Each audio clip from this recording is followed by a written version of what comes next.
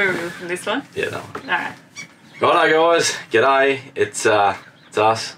I don't know. Welcome back. This episode's a little different. We've had some laptop issues this week, and Simon's editing the snow footage on my old dinosaur of a laptop. And let's just say it's not going to go well. So we've decided to delay it for uh, hopefully it's only just one week while we get the other laptop repaired. But um, bear with us, yeah. So Yeah. we just thought we'd come and give you a bit of a live update, what's going on in the real world with us, and um, what exciting stuff we've got planned, I guess. Yeah, so there's a few things we want to fill you guys in on and let you know of some of the stuff that's coming up for the channel. As Liz said, we were hoping to bring you our snow trip uh, episode this week, but it uh, hasn't worked out, unfortunately. Uh, so after the southeast Queensland, we, we left you last time, we went and just travelled through New South Wales, visiting family and friends and catching up with people on our way down to the snow. Which was an awesome time, and we can't wait to show you that. Hopefully, as we said, fingers crossed for us, it's next week for you. Otherwise, we've got some other cool stuff up our sleeve. So today, we're going to be talking about uh, what's happening with our Land Cruiser build, what's happening with a new caravan. Are we getting a new caravan? What's coming up for the channel? Some new content and stuff that we're going to bring bringing you guys over the summer. Our 2023 uh, trip uh, plans, our 2023 travel plans. A new series of like off-grid stuff that we're going to be doing. Yeah, I already mentioned that. Oh yeah, cool. Yeah, so we'll do that as well. We'll do that twice even. I'll listen. I'll listen carefully. Yeah, uh, and yeah, and an update for patrons as well. If you're a patron, stick around for that. And that's about it. Oh, we've got a new our website's live. Uh, we haven't really mentioned our website to you guys before, so we're going to touch a little bit on that. And yeah, apart from that, let's rip into it. So what I'm going to do with this video, as I've done with these sorts of videos before, is I'm going to break it up into chapters. So if there's only one part of the video that you think is going to interest you, you can click through to the to the part that might interest you. So there'll be a if you look down at the timeline below. You'll be able to click through to whichever part of the video you want to watch. If you want to come back and rewatch something, you can do that as well. Uh, so yeah, let's rip into it. Coming up over the summer, we're going to be releasing a. We haven't quite decided yet. It'll either be three or probably a four-part series. Uh, off-grid, living off-grid, what that involves, how to set yourself up for living off-grid. Way more detail than just an electrical system. Yeah, what to think about so that you can apply the strategy for whatever situation you want. Yeah, so it's going to apply. It doesn't Yeah. matter if you're a caravan or a camper, uh, even if you're building an off-grid cabin in the woods, something like that. Just the things that we have to consider when when we're living off-grid. Uh, and what that means to us, like, but beyond what um, is being covered before, just in electrical systems, way more in depth than that. So, if you've got any questions on that, anything, any ideas, anything you'd like us to include in that, leave us a comment below this video because we're going to start planning out those those videos very shortly. So, yeah, if, you, if there's anything there you sort of think, yep, I'd love to Simon and Liz to cover that, leave us a comment below and we'll uh, do our best to include as much of that as we can. So that's really exciting. We're really looking forward to doing that and sharing a bit of, bit of that with you. That'll be over sort of December into January.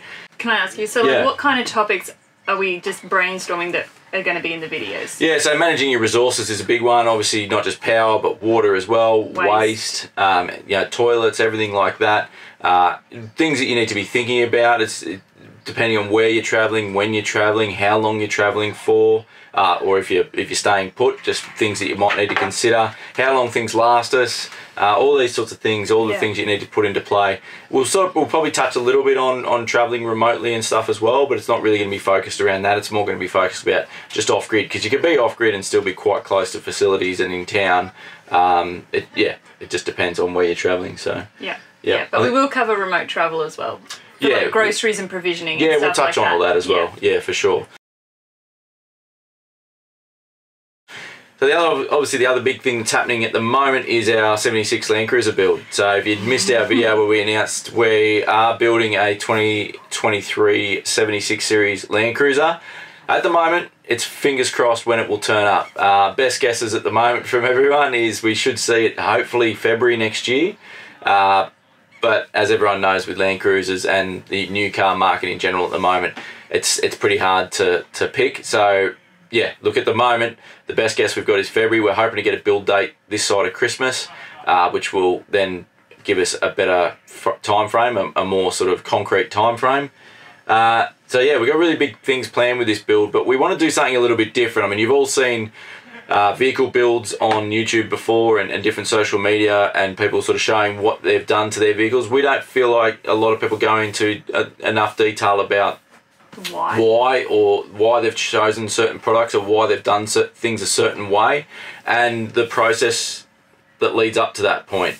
Uh, it's, there's a lot that goes on between placing an order for a vehicle and, and doing a build and starting to bolt accessories on. In my opinion, there's a fair bit of planning and things that things that you should be considering in that in that gap, I guess, between there. So I want to take you guys on a bit of a journey. I'm going to be filming a couple of videos over the coming months, uh, taking you through on on what I'm up against as far as challenges concerned, uh, what sort of products we're looking at, how I do my research, where I get that information from, and try and just go through all that, and because hopefully it can help some people, some of you out there, if you are thinking of doing something similar. So, yeah, that was sort of the idea of it all. Yeah, we've had a few challenges already with the 76 because you'll be able to explain this better than I will, but there's new um, figures.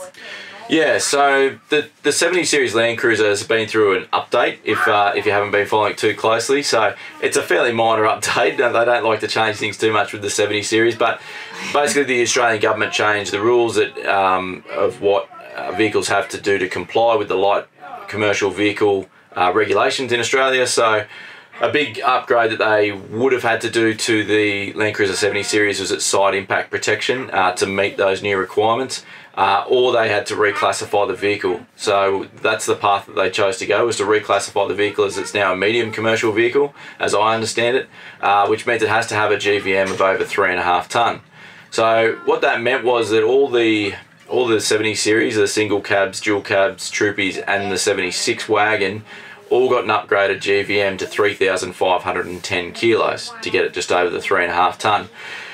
The biggest winner out of that though was the 76 wagon because it previously had the lowest at GVM. So it's it's made a, I think it's a I'll have to double check the figures, but I'm pretty sure it's a 460 kilo increase in payload now in the 76 wagons versus the, the current models. So that's a huge change. It's had big implications though in the in the aftermarket in accessories and things like that because it now means no accessories, uh, or not no accessories, a lot of accessories that were currently available for the 76 series or for the 70 series in general no longer comply or may not comply and they have to be re-engineered, retested and reapproved. So we're talking about bull bars, GVMs, suspension, uh, bar work in general, uh, even lights and the way they fit because the new one will have a forward-facing radar, all these sorts of implications. So what that means for us is we can't really order much gear because no one knows if it's going to comply with the current or the new model. So the updated models are just landing in Australia now. Some different organisations have gotten their hands on one. I know ARB have one, for example, and they're starting to work on things.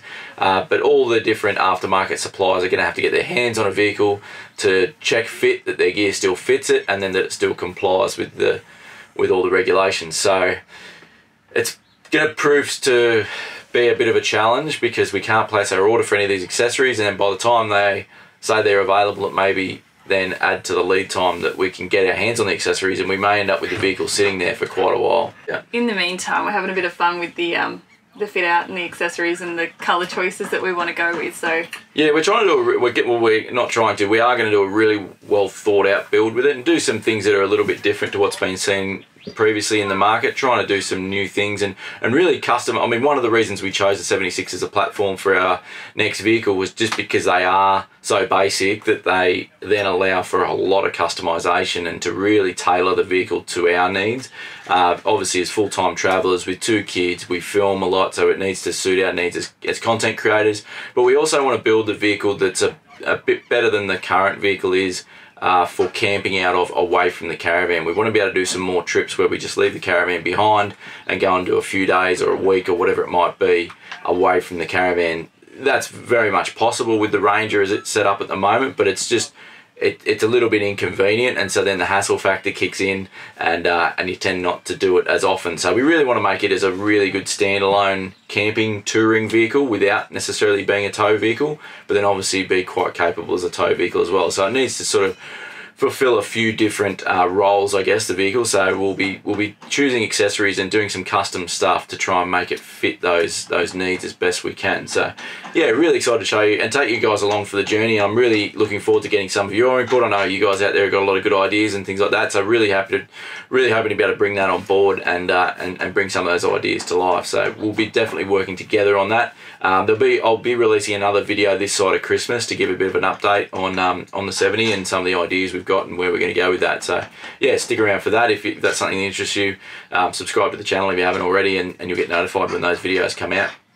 And same thing with those off-grid videos as well. Yes. If that interests you, hit that subscribe button and uh, and let us know that you're keen to see them, and leave us a comment below. Well, can you believe it? We are coming up into the last week of November, which also means it's the last week of our Movember campaign. Thank you so much to everyone that's already supported us. We've raised almost $2,000 already, which is just an outstanding result. We are so stoked with that. So thank you to everyone that's already donated.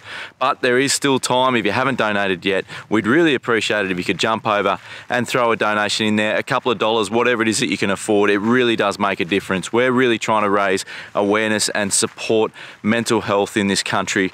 Uh, we lose far too many of our men to suicide and, uh, and mental health problems. It is just, it's a devastating statistics in this country that it's the leading cause of death in young men here. So look, everything you can do, we would really appreciate your support. I'll leave a link just up here. You can go and click there, click on that, or I'll leave a description in the, um, or I'll leave a link in the description below, so you can click on that and uh, and head over there and drop a donation in. Thanks, legends. We really appreciate it. Speaking of caravans, Caravans. So in our last update video, we said we might be getting a new caravan. What happened? I don't even want to talk about it. It makes me sad. Yeah. We were going to be getting a zone expedition, so the new zone expedition, which is um, a smaller version. It's a 16 foot. It's a pop top. It's got an exterior kitchen. It was going to have double queen bunk beds in it. We really were excited about it. We went and saw the model. We went and did a factory tour. We Checked yeah, out the checked out the prototype. prototype. We've been in there. We were going to be the first ones releasing it, and that's no longer going to be the case, unfortunately. And we're pretty devastated about it. But Yeah, so we've been in the been in talks with Zone for about six months now about building this caravan together and doing something together. It was a big it was a big reason we even considered getting a new caravan to be honest, was that they wanted to, to do this project with us and, and get us involved in in helping to launch the new the new expedition model, which we were really excited about. Until about a month ago and they, they basically pulled the pin on the whole thing. Um, Well, they sort of said too, like it was always going to be like, hopefully November pre Christmas it'll be ready for you, and then it was, oh, it's going to be uh, like delays with the three D printer, so it'll be a little bit later, a little bit later, a little bit later, and now and then you know, it's was pushing into some other travel plans we had, and then they've recently just said, no, I'm not doing it. So they're not sure. What they've told us is that they're not sure if they're going to do a family version of it yet, and if they are, how far away it is. They still don't know how far away the the couple's version of it is. It just the project kept getting delayed and delayed and delayed, and then until they basically just said they don't want to do it with us anymore. They're not going to continue that project with us. And just, just terminated it basically, which was pretty disappointing, and it kind of left us in the lurch a little bit. Um, we'd sort of made a lot of plans to, to have that caravan and to, to go and do some trips with it. So now we're in a bit of a in a bit of a pickle, I guess. We're just trying to figure our way through it. Whether we go back to keeping the current van, which we're extremely happy with, as you guys know, we really like this van. So There's a few things we would tweak. Yeah, so one of, Yeah. one of the things we're considering is to do some changes to this caravan, do some upgrades and do some modifications and just, just tailor, I guess, a bit to, to more to our needs. Uh, they're a great caravan, but they're obviously built to a, to a spec level, and there wasn't a lot of options we could pick when we built this caravan. They were fairly fairly restricted in what you could do as far as you know, even internal color choices, but even layouts and different things like that. So there is an opportunity there for us to potentially do like a mini reno, I guess, on this caravan and do some updates and things like that. But then we're also looking at what else is on the market uh, that might suit our needs. It's it's difficult though. There we do have fairly stringent requirements, I suppose. No, nothing that we think is, is unreasonable, but we still obviously we, we want to stick with composite um, composite panel construction if we can. Uh, that's that's we really believe that's the future of caravan construction. It has some huge advantages, obviously insulation and weight and strength and all those things. Uh, so that cuts down the market pretty quickly already. We definitely we're we're comfortable with going to a smaller caravan potentially. Obviously. But, yeah, because obviously I'd wrap we were, my head around that. because we were considering the expedition, but we do want to stay dual axle. That's that's important just to maintain payload. It, it'd be difficult for us to take everything that we want to take and have everything that keeps us comfortable when we're traveling and, and maintain a, a payload that was was doable on a single axle. So and, and I do like the stability of a dual axle as well. So we want something dual axle. Uh, and then apart from that, it's really just comes down to payload. So reducing that, getting that tare weight down. There's a lot of caravan manufacturers out there that are building really nice vans, vans. but they're they're really heavy um, tare weight. And the same struggle we had actually when we bought this van, and a big reason that we bought this one at the time was it was so much lighter than anything else comparable on the market. So and even the new zones are not anywhere near as light as ours. yeah, I was just going to touch on that. So yeah, Yeah. so one option obviously would be why not just go into a sojourn or a new new zone. Well, again, there's a lot of restriction. They're, they're pretty much a cookie cutter design as far as there's not a lot of variation you can make and not, not a lot of customization you can make. It's not that different to what we've already got. There's a few changes. Some we think are improvements. Some we actually prefer what we've got. Um, so yeah, it just didn't make sense for us. It didn't seem that different or that new. A big big draw card for the for the expedition was something quite different and something quite new. And we So want we- to showcase that to, to you guys, to you.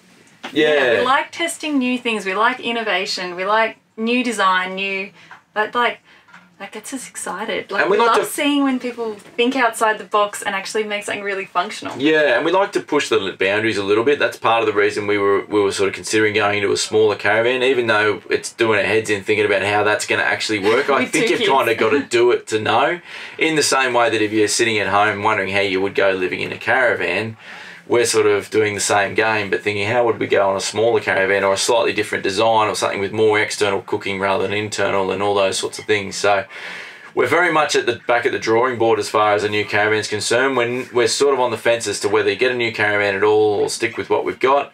If we stick with what we got, we could leave it exactly as it is and just keep traveling. There's nothing wrong with it. Um, or we could make those changes to it, or we could go to a whole new caravan, a whole different setup. So, if there's something that you think meets our criteria that we might not be aware of on the market, leave us a comment us below and let us know because we're, we're certainly interested in checking out, you know, and uh, uh, anything really. And I know there's a lot of smaller manufacturers out there out there that are, um, yeah, we may not be aware of, or, or new products that may be coming to market, but we may not be aware of. So, feel free to drop us a comment below and let us know. But really, yeah, it's just a watch and wait at the moment with the caravan game. We're just playing playing the game of, of shopping around and trying to find if there's anything that that is enticing enough for us to, to try something different or try something new. So we'll see how that ends Watch up. eh? this space. Watch this space. That's where we're at with that.